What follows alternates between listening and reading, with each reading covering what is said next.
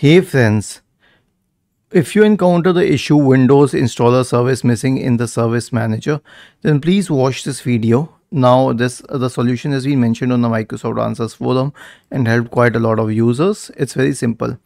I am sharing a script with you. All you need to do is copy this script completely from top to bottom.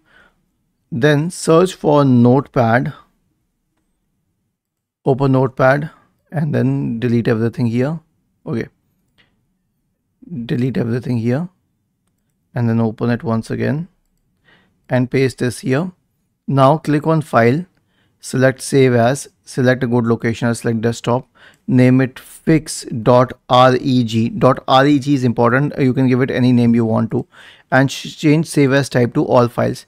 So it should be a .reg file and the save as type should be all files and the location should be any location of your choice.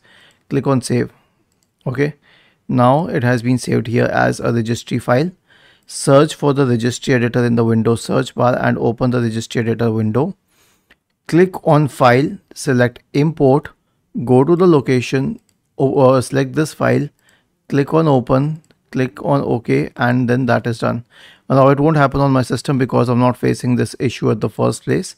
But if you're facing this fix will uh, fix the problem. And honestly, in many of the cases, I just double click on this file and select yes and it fixes the problem. Was this helpful? If yes, then please subscribe to the channel and if not, then let us know in the comment section of the video on how we could help you further. Thank you for watching this video and have a nice day.